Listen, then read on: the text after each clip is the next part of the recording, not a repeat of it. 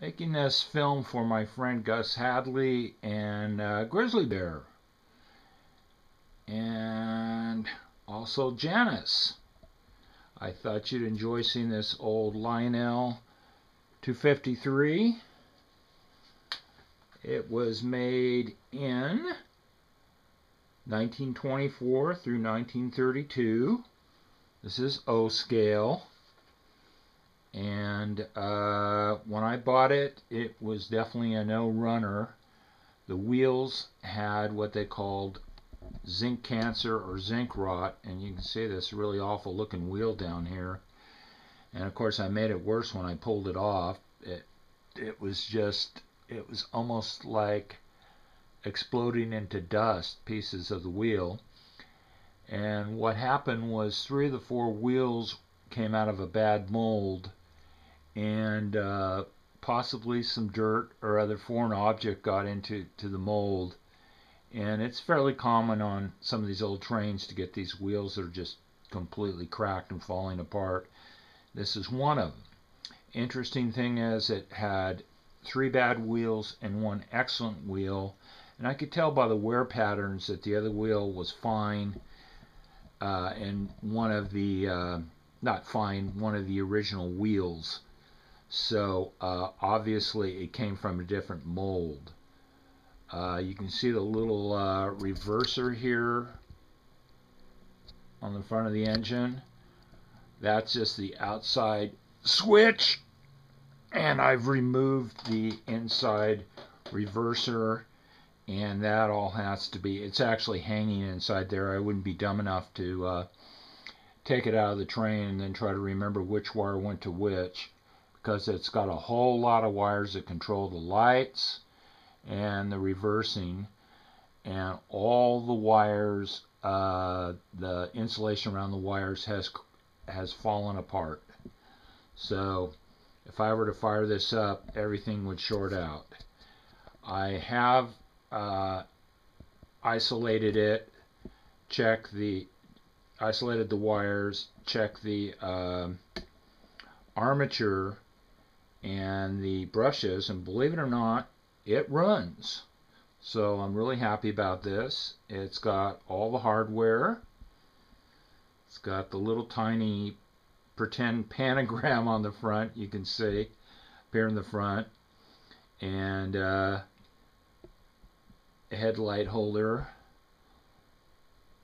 little whistle, another headlamp holder, and there's the 607 car, another 607 car, another 607 car, which I'm going to have to tear it down today because this is either the best repaint I've ever seen in my life or it was left in its original wrapper. There's just no sign of wear anywhere on this car, including the wheels. So I'm thinking somebody accidentally sent this one aside and never got played with.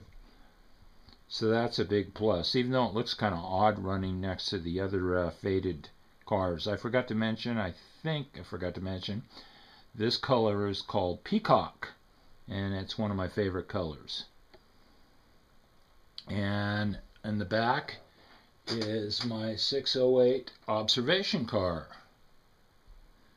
So this is my new project. I'm going to take this thing outside probably today or tomorrow and do one heck of a lot of soldering. Careful soldering. Take remove one wire at a time.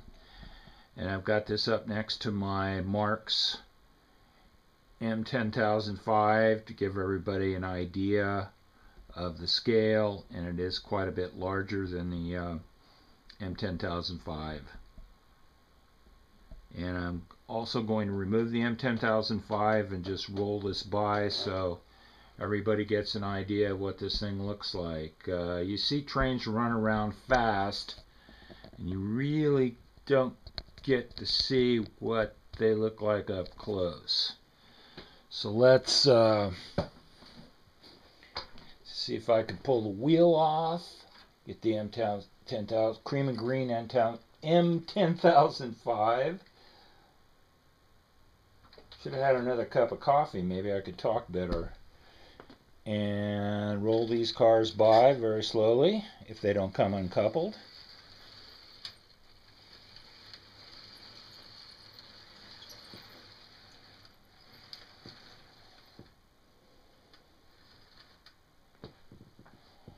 Here's the one that's the mystery car. I really don't think it's a repaint. I think it's uh, original.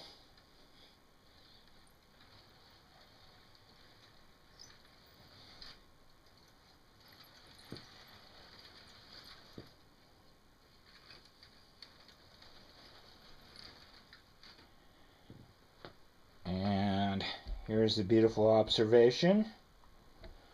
It's a little back porch, I call it, made out of brass, which I think is pretty cool. Just imagine somebody standing out there smoking their cigar and watching the world go by as the train goes down the, the tracks. Other interesting story behind these trains were my father explained to me. Uh, first time I saw one of these engines, my father was born in Brooklyn, New York.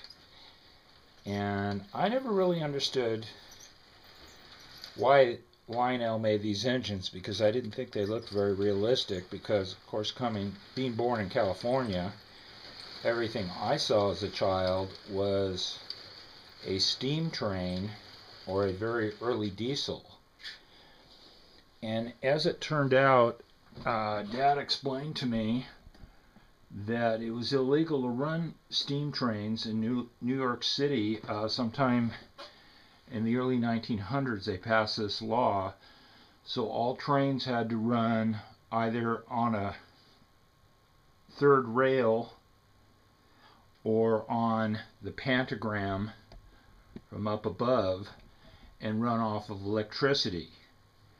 Because all that extra pollution uh, number one it would have gassed everybody out through the subway tunnels and it would have gassed everybody out in the city and New York had enough pollution uh, with the early motor cars, and of course they had their coal-driven uh, uh, power plants. So these were actual trains that ran in New York in the 20s, and I assume possibly through the 30s.